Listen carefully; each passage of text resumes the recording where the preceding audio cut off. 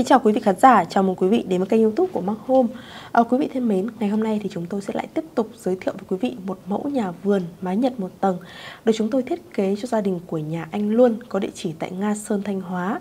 À, Và mẫu nhà này thì trong thời gian vừa qua được rất là nhiều chủ đầu tư yêu thích và lựa chọn. À, Và trước khi mà đi vào chi tiết về công trình này, xin mời quý vị hãy cùng tìm hiểu đôi nét về Mark Home. Quý vị thân mến, Mark Home là một trong những đơn vị thiết kế và thi công chọn gói hàng đầu tại Việt Nam hiện nay. À, hiện tại thì quý vị đang theo dõi kênh YouTube của Mark Home à, và trên kênh này của chúng tôi sẽ đăng tải rất là nhiều những cái công trình mà chúng tôi đã thiết kế à, cũng như là những mẫu công trình này thiết kế và thi công chọn gói để quý vị có thể tham khảo. Và ngoài ra thì quý vị nếu muốn tìm hiểu thêm về Mark Home thì quý vị có thể truy cập vào trang web à, với tên miền là thiết kế thi công chọn gói.com. Ở trên trang này của chúng tôi à, thì à, sẽ đăng tải rất là nhiều những cái chương trình ưu đãi hấp dẫn được cập nhật thường xuyên. Và trên trang website của chúng tôi thì còn có up lên tất cả những mẫu nhà đẹp do Mark Home thiết kế này. Ngoài ra thì đây có có thêm rất là nhiều những cái công trình đẹp, những công trình mà chúng tôi đã thi công xong rồi. Này để quý vị có thể là trực tiếp ngắm nhìn và trải nghiệm. Và đây chúng tôi cũng có đăng tải này tất cả những giá thành này rất là công khai và minh bạch được cập nhật thường xuyên để quý vị có thể là dự toán được những cái kinh phí mà mình cần đầu tư cho công trình. À, trên trang này của chúng tôi thì còn có một chuyên mục về nội thất nữa. À, Mark không của chúng tôi thì cũng đã thiết kế và thi công chọn gói về nội thất này, có một xưởng sản xuất nội thất riêng để đảm bảo mang tới cho quý vị khách hàng một cái mức giá chiết khấu ưu đãi nhất. Ở dưới này thì sẽ là toàn bộ này những cái hệ thống trụ sở showroom của chúng tôi. À, và công ty cổ phần kiến trúc xây dựng Home thì chúng tôi quý vị có thể là gọi điện này thông qua số hotline là 096 445 8888 hoặc là 0828 133 333 à, và ở đây tất cả hệ thống chi nhánh này từ miền Bắc thì sẽ là tòa nhà Mark Home 180 Vạn Phúc Vạn Phúc quận Hà Đông Hà Nội. Miền Trung thì sẽ là 28 Hà Hoàng Thạch Trung thành phố Hà Tĩnh. Ở miền Nam là tòa nhà Mark Home Building 162 164 đường Cộng Hòa phường 12 quận Tân Bình. Ở Tây Nguyên là số 34 quốc lộ 14, xã Hòa Khánh, thành phố Buôn Mê Thuột, Đắk Lắk. Tại Bình Dương thì sẽ là 578H trên 8 tổ 6, ấp Phú Nhuận, xã Phú An, thị xã Bến Cát, tỉnh Bình Dương. Còn hiện tại chúng tôi cũng đang triển khai thêm một số những trụ sở mắc hôm tại miền Tây nữa. À, và ngoài ra thì chúng tôi sẽ còn có thêm một trang web cũng có tên miền là markhomegroup.vn ở trên kênh này của chúng tôi thì cũng đăng tải rất là nhiều những cái chương trình đấy, mà chúng tôi à, đang à, cho triển khai này. Đây như là nhận lễ này bàn giao này. Và ngoài ra thì chúng tôi sẽ còn có thêm một trang web khác với tên miền là markhomegroup.vn ở trên trang này là chúng tôi có đăng tải cũng khá là nhiều những cái uh, chương trình của chúng tôi đang diễn ra trong thời gian này. Đây thiết kế thi công chọn gói này và tư vấn về phong thủy sản xuất phân phối vật liệu xây dựng ở trên trang này của chúng tôi thì đây có phân phối rất là nhiều này những cái vật liệu độc quyền của Mark Home và hiện tại thì Mark Home của chúng tôi ạ à, đang tung ra thị trường rất là nhiều những cái dòng à, vật liệu độc quyền này như là sơn Mark Home này, bột, bột bả chống thấm này, rồi là các công nghệ như là sàn gỗ này, sàn hợp không dầm. Hiện tại thì Mark Home của chúng tôi thì đang là một trong những đơn vị duy nhất tự chủ động sản xuất nguyên vật tư vật liệu và nhập các vật tư vật liệu mang thương hiệu Mark Home. Điều này thì chúng ta có thể là hoàn toàn yên tâm về cái nguyên vật tư vật liệu chính hãng. À, tiếp theo là giá thành cạnh tranh và thứ ba là chính là thời gian bảo hành bảo trì dài hạn. Hiện tại thì Mark Home của chúng tôi thì đang có chi nhánh rộng khắp cả nước, hệ sinh thái chọn gói ngành xây dựng này, tiêu chuẩn chất lượng và châu Âu. À, và ngoài ra thì Mark Home của chúng tôi còn có triển khai về gói à, phong thủy, à, tư vấn thiết kế theo phong thủy này, như là tư vấn về phong thủy chuyên sâu này, phong thủy theo tuổi này, dịch vụ phong thủy hay là thước lỗ ban. À, và bên tôi thì có rất là nhiều những à, bậc thầy về phong thủy nổi tiếng này, có nhiều năm kinh nghiệm trong cái lĩnh vực mà xây dựng thiết kế nhà ở để đảm bảo cho quý vị khách hàng không những có một công trình à, đầy đủ về công năng sử dụng mà vẫn phải đảm bảo về mặt phong thủy. Trên trang này của chúng tôi thì cũng có đăng tải cũng khá là nhiều những cái mẫu nhà, mẫu công trình mà chúng tôi đã thiết kế trong thời gian vừa qua với những mức chi phí rất là phù hợp. Đây là thiết kế nhà vườn này, khu vực nhà cấp 4 này, nhà hiện đại, nhà ống đẹp hay là cả thiết kế biệt thự. và ngoài ra thì ở dưới thì cũng có một số những cái công trình mà chúng tôi đã thi công thi công xong rồi đã cũng có đăng tải này tất cả này những cái giá thành này uh, minh bạch cho từng cái ngôi nhà một để quý vị có thể tham khảo nhé đây là gói à, thi công nội thất với xưởng sản xuất giá tận gốc. Đây là những cái đánh giá của khách hàng về Mark Home thời gian vừa qua. Và nếu như quý vị nào mà đang có ý định chuẩn bị xây dựng nhà thì có thể là vào trong web của Mark Home chúng tôi à, tờ xuống mục kinh nghiệm làm nhà để tham khảo một số những kinh nghiệm để chuẩn bị cho công cuộc làm nhà sắp tới. Ngoài hệ thống kênh YouTube này cũng như là các à, trang website thì chúng tôi sẽ còn có thêm một cái trang fanpage trên Facebook. Ở đây thì sẽ có tên là công ty cổ phần kiến trúc và xây dựng Mark Home. Ở trên trang này của chúng tôi thì cũng đăng tải khá là nhiều những cái chương trình ưu đãi khuyến mại. À, và nhân dịp 2024 thì chúng tôi đang có rất là nhiều những cái chương trình với quà tặng trị giá rất là hấp dẫn, sale off khoảng tầm 40% cho 200 khách hàng đầu tiên ký hợp đồng thiết kế. À, thời gian thì sẽ là từ ngày 23 tháng 11 2023 đến ngày 23 tháng 2 2024. À, khi mà khách hàng mà đăng ký hợp đồng cùng thiết kế của Mac Home thì sẽ có cơ hội nhận được những quà tặng sau như là tặng một gương led Mac Home cao cấp này, à, tặng một bộ lịch Tết này, tặng 10 bộ đèn downlight thương hiệu Mac Home hay là giảm 40% khi mua thiết bị vệ sinh thương hiệu Mac Home. Và đây quý vị có thể thấy ạ, chúng tôi có đăng tải này cập nhật rất là thường xuyên nhé. À, hàng ngày, hàng giờ luôn luôn có những bài viết mới để cho quý vị có thể tham khảo. Và đó là toàn bộ thông tin về Mark Home. Và nếu như quý vị nào đang có nhu cầu thiết kế và thi công trọn gói, hãy vui lòng liên hệ tại các số hotline 096 445 8888 hoặc 09240 99999 hay 08281 33333. Quý vị thân mến và quay trở lại với công trình của gia đình nhà anh Luôn ngày hôm nay. Đây là một công trình thiết kế theo phong cách hiện đại. Nói về phong cách thiết kế nhà thì hiện tại đang có khoảng tầm 3 phong cách chủ đạo à, Trong đó thì có phong cách hiện đại này, phong cách tân cổ điển và phong cách cổ điển à, Phong cách hiện đại thì là một trong những phong cách mà được rất nhiều người yêu thích và lựa chọn Đặc biệt là với giới trẻ bởi vì à, à, cái à, tính thẩm mỹ của nó này nó không quá là dườm già này cầu kỳ với những họa tiết hoa văn phào chỉ ở trên các diện từng hệ cột à, giống như là phong cách cổ điển và tân cổ điển mà chỉ đơn giản là những cái phần à, tường này Đấy, rất là vuông vức này à, rồi là những cái phần tường sơn màu này hay là những cái phần được ốp gạch thôi à, thì à, khi mà chúng ta sử dụng cái phong cách hiện đại thì nó sẽ tiết kiệm được cái chi phí rất là nhiều cho chủ đầu tư so với lại hai phong cách còn lại. Và cái màu sắc thì cũng là một trong những yếu tố mà góp phần là làm nên cái vẻ đẹp của công trình. Và khi mà chúng ta pha trộn cái màu sắc cho ngôi nhà ấy, thì cần phải lưu ý có những nguyên lý riêng để có thể là tạo nên một ngôi nhà đẹp. Nguyên lý đầu tiên ấy, đó chính là cái lựa chọn cái gam màu phù hợp với tuổi của gia chủ à, có rất là nhiều ờ, tuổi tương đương với các mệnh khác nhau này. À, với năm mệnh như là kim thủy mộc hỏa thổ thì mỗi một mệnh thì sẽ có một những cái màu sắc tương ứng. Ví dụ như là mệnh à, thủy chẳng hạn thì sẽ là đi kèm với những cái màu xanh này à, màu xám này hay màu trắng này. À, còn mệnh à, ví dụ như là mệnh hỏa chẳng hạn thì sẽ là đi với những gam màu nóng như là màu đỏ này đỏ cam này màu vàng hay màu nâu và cái nguyên lý thứ hai khi mà lựa chọn màu thì chúng ta không bao giờ lựa chọn màu gốc mà phải lựa chọn màu pha. Bởi vì khi mà mắt chúng ta nhìn vào một vật thể, ở đây là một công trình thì nó đang bị tán xạ và khúc xạ bởi rất nhiều yếu tố như là ánh sáng mặt trời này, bởi bụi bẩn này, à, rồi là bởi cây xanh hay là cái nền dưới sân chẳng hạn thì à, cái mắt chúng ta thì chỉ có thể nhìn thấy được cái màu chính màu pha thôi, mà không thể là nhìn cái màu gốc được. Chính vì thế mà những cái màu pha trộn luôn luôn là những cái màu sắc mà không bao giờ bị lỗi mất theo thời gian. Bây giờ thì chúng ta sẽ cùng nhau đi vào khám phá chi tiết công trình này nhé Đầu tiên, công trình của chúng ta thì sẽ được sử dụng với lại hệ thống đó chính là bậc ngũ cấp đi lên bao gồm 5 bậc này làm cho công trình trở nên bề thế hơn và cao giáo hơn. Bên cạnh đó thì nó cũng sẽ giúp cho cái việc là cân đối giữa phần đế, phần thân, phần mái này, đặc biệt là trong những căn nhà một tầng thì nó sẽ làm cao giáo hơn, giúp điều hòa không khí và thông gió cho căn nhà được tốt hơn nữa. Và ngoài ra thì khi mà sử dụng bậc ngũ cấp ấy, nó còn có ý nghĩa về phong thủy,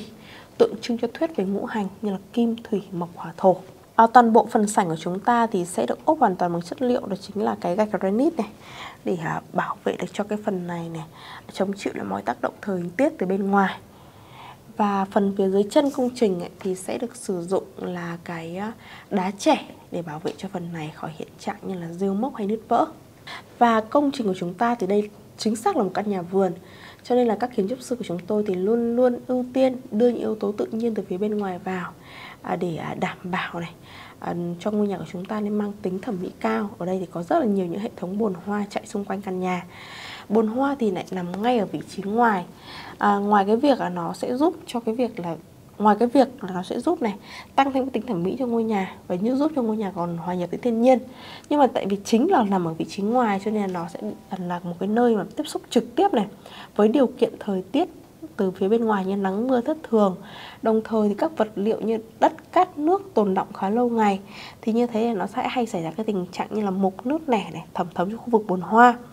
Và bên cạnh đó thì nó sẽ còn kéo theo cái lớp cốt thép bên trong chân tường cũng sẽ bị hoen dỉ theo nữa à, chính vì vậy mà cái việc là xử lý chống thấm cho bồn hoa là một cái việc làm vô cùng cần thiết. À, toàn bộ công trình của chúng ta này những hệ thống cột trụ này không những là sảnh chính này và một sảnh phụ phía bên hông này cũng thiết kế tương đồng nhau nhé à, cũng là được sơn trắng có những đường kẻ chỉ âm tường đấy, màu xám. Nhìn vô cùng nổi bật và nó rất là bề thế. Phía dưới chân cột của chúng ta thì sẽ được ốp bằng chất liệu là gạch thẻ xám nha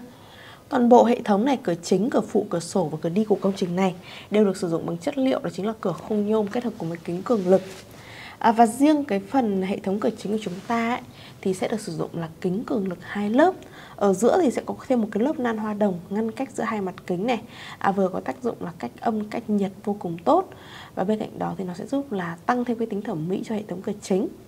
và cửa chính của chúng ta sẽ sử dụng là công nghệ thủy lực nha. Cho nên là khi mà chúng ta cái thao tác ấy, chúng ta mở ra và đóng vào thì nó rất là chắc chắn. Và khi mình sử dụng toàn bộ là full hệ thống kính như thế này và cửa khung nhôm á, thì nó sẽ giúp là tăng được cả tối đa này lấy được cả cái ánh sáng tự nhiên từ phía bên ngoài này à, cũng như là điều hòa không khí và thông gió cho căn nhà được tốt hơn. Còn toàn bộ hệ thống cửa phụ và cửa sổ của chúng ta được sử dụng bằng chất liệu là chính là cửa kính cường lực thông thường nhá và khi mà nói đến hệ thống cửa khung nhôm và kính thì chúng ta cần phải lưu ý đến ba yếu tố. Yếu tố đầu tiên thì đó chính là cái phần khung nhôm bảo vệ ở phía bên ngoài này. Có rất là nhiều chất liệu và độ dài khác nhau ví dụ như nhôm sinh pha, nhôm Việt Pháp, nhôm PMA, nhôm hệ 45, hệ 55 cái thứ hai đó chính là cái phần kính bao gồm là kính cường lực này, kính hai lớp hay là kính phản quang. À, và cái thứ ba thì đó chính là cái phần phụ kiện bao gồm là hệ thống tay nắm cửa, bản lề hay là keo liên kết và tùy vào từng tầm tài chính của mỗi gia đình mà chúng ta sẽ lựa chọn những loại vật liệu khác nhau để có thể đảm bảo được kết cấu cho phần cửa. Và công trình của chúng ta được sử dụng hệ thống mái Nhật. Mái Nhật là một cái loại mái mà được xuất phát từ đất nước Nhật Bản. Máy Nhật thì còn có tên gọi khác, đó chính là máy lùn này. Loại máy này thì có một cái đặc điểm đó chính là độ dốc máy nó rất là nhẹ, Nó khoảng tầm 40 độ sau đó nó sẽ mở rộng theo các hướng khác nhau giúp chắn nắng che mưa vô cùng tốt. Đặc biệt thì hệ thống mái nhiệt của chúng ta thì còn có ưu điểm đó chính là mát mẻ vào mùa hè và ấm áp vào mùa đông nên là được rất nhiều gia đình yêu thích và lựa chọn. À, từ góc nhìn bên này ta thấy được rằng là rõ nét nhất cái phần hệ thống sảnh phụ của công trình.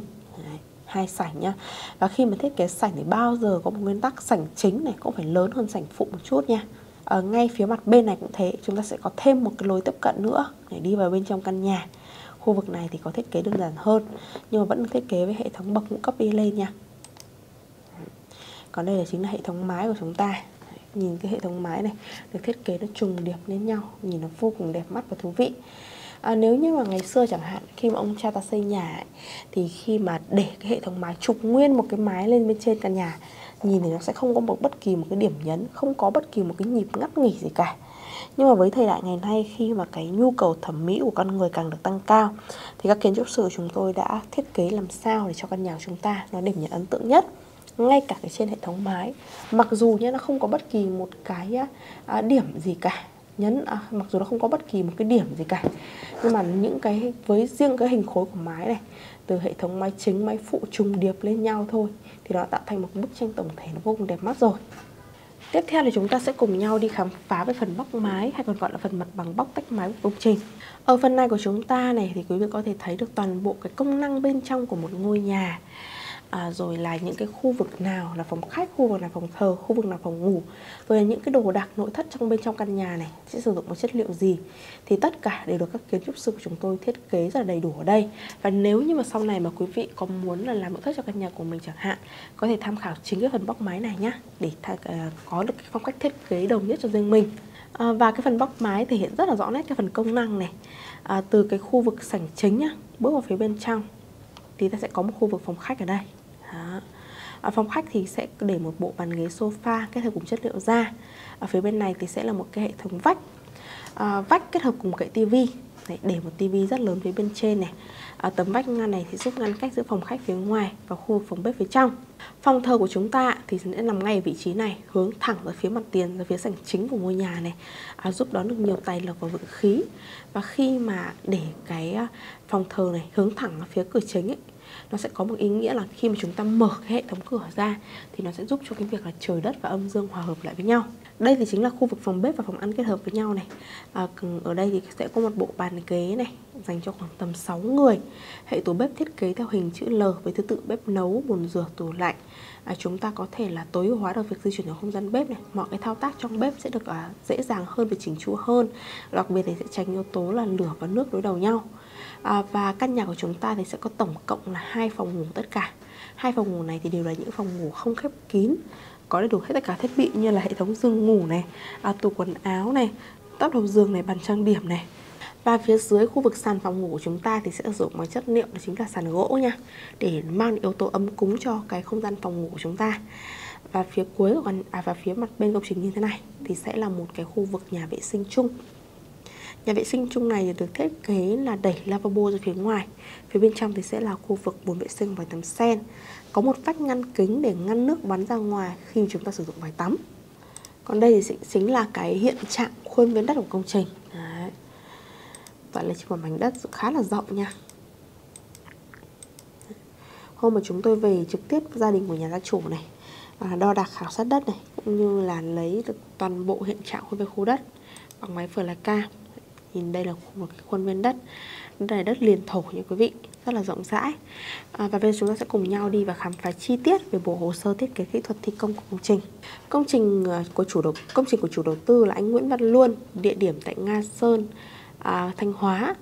Và đây là cái phần mục lục bản vẽ kiến trúc này đây có tổng cộng 35 mục tất cả thống kê đầy đủ hết tất cả những cái phần mục chính có trong bộ hồ sơ này bao gồm là mặt bằng này mặt đứng mặt cắt này à, các chi tiết như vệ sinh cửa đi cửa sổ kiến trúc vân vân. Còn đây sẽ là mặt bằng khu đất này, nằm trên một khuôn viên khu đất này nó khá là vuông thành và góc cạnh nha. À, còn đây sẽ là mặt bằng định vị của công trình. Thì quý vị có thể thấy là chúng tôi đã thiết kế đẩy lùi công trình về phía sau này phía trước này và phía bên hông này là một khoảng sân vô cùng rộng để chúng ta có thể thoải mái bố trí khu vực tiểu cảnh sân vườn khu vực để xe. Và ở ngay phía bên hông nhà này thôi thì sẽ có cái uh, một cái khu vực đó chính là cái hồ cá cảnh. Nhìn vào phần mặt bằng bắt chặt của công trình ta thấy được rằng là gia chủ sinh năm 1976 thì uh, các hướng tốt hợp với gia chủ thì sẽ là hướng uh, Tây Bắc phục vị được sự giúp đỡ này hướng đông bắc này thiên y thiên thời che chở hướng tây nam phúc đức mọi sự định và hướng tây sinh khí phúc lộc vẹn toàn. À, như vậy khi mà chúng ta biết là những hướng tốt hợp với gia chủ thì sẽ dùng để đặt hướng nhà này hướng bếp hướng ban thờ. Còn lại những hướng xấu sẽ dùng để đặt nhà vệ sinh hay nhà kho. Đây chính là phần mặt bằng nội thất của công trình. À, vừa nãy tôi đã giới thiệu với quý vị rất là rõ ràng cái phần à, toàn bộ công năng bên trong của ngôi nhà rồi nó có cái gì rồi còn ở riêng cái phần này thì tôi sẽ nói sơ sơ qua một chút cho quý vị à, có thể à, rõ nét nhất nhé đầu tiên này, thì chúng ta sẽ có này cái thông số kỹ thuật công trình này như sau. À, chiều ngang mặt trước thì rơi vào khoảng tầm là 15,3 m còn khu vực chiều sâu ở đây thì sẽ là 9,1 m như vậy thì chúng ta sẽ có tổng diện tích cho cả căn nhà rơi vào khoảng tầm là gần 140 m vuông nha quý vị. Và với một cái diện tích à, nó cũng khá là tương đối thế này chúng ta có thể thoải mái bố trí đủ công năng này với phòng khách 32 m vuông này phòng thờ 98 m vuông. Phòng ngủ 1 là 11,5 m2, phòng ngủ 2 là 14,5 m2. Phòng bếp và phòng ăn kết hợp với nhau là 17,5 m2 và cuối cùng là khu vực phòng à, nhà vệ sinh, nhà vệ sinh chung là 4,8 m2. Và ngay phía bên này thì cũng sẽ có thêm một khu vực ra sau ngoài khu vực sân ướt nha, để một máy giặt thuận tiện cho quá trình sinh hoạt. Đây thì chính là phần mặt đứng của công trình Ta thấy được rằng là công trình của chúng ta này có cái chiều cao tính từ cốt 00 lên đỉnh mái là 6,6 m à, Chưa tính cái phần khu vực là bậc ngũ cấp ở phía dưới bao gồm là 7 5 bậc này là 750mm này. À, Chiều cao thông thủy của căn nhà là 3,9m Còn chiều cao phần mái là 2,7m nha quý vị. Nhìn vào phần mặt cắt ta thấy được rằng là toàn bộ cái không gian bên trong của một ngôi nhà mà nó cắt qua này Bao gồm chiều cao hệ thống cửa chính này, cửa phụ cửa sổ này Rồi độ dài của tường dâm xa này Vị trí nào cần phải hạ cốt này Vị trí nào phải nâng cốt này Rồi là khu vực nào cần phải đổ bê tông Đấy. Để à, có thể là có một cái kết cấu hoàn toàn bền bỉ và vững chắc đây là khu vực à, nhà vệ sinh đó. đối với khu vực nhà vệ sinh thì à, đây là sẽ là một cái nơi chúng ta hay sử dụng còn nóng lạnh đúng không ạ thì cái hơi nước ở phía dưới ấy, nó sẽ hắt lên bên trên phần trần thì nếu như nó, nó động lại mà chúng ta không có cái phương án xử lý thì thường là nó sẽ hay xảy ra cái tình trạng như là ẩm mốc đó nó sẽ ảnh hưởng đến cái tính yếu tố thẩm mỹ. À, còn vậy cho nên là chúng ta cần phải có lưu ý này khi mà xử lý cái phần trần có thể sử dụng là cái phần à, khu vực đó chính là cái phần trần thạch cao này trạch cao chống ẩm này hoặc trần nhựa hay là đơn giản như căn nhà này nhá thì sẽ đổ luôn thêm một cái lớp bê tông phía dưới nữa. Thì nó sẽ giúp là tạo ra thành một cái khoảng như thế này. Ta có thể hoàn toàn tận dụng khu vực phía bên trên thành một không gian để đồ nhá. Đây là khu vực uh, hệ thống cửa chính này. Cửa chính được sử dụng là cửa nhôm hệ. Kính hai lớp kích thước 2m5 x 2m7 Toàn bộ hệ thống cửa phụ, cửa sổ, cửa đi được sử dụng một chất liệu đó chính là cửa không nhôm kết hợp cùng kính cường lực. Đây sẽ là cái chi tiết à, như là hệ thống uh, cột trụ này, rồi bậc uh, ngũ cấp này. Rồi là đây là khu vực mặt bằng lát sàn, mặt bằng trần đèn.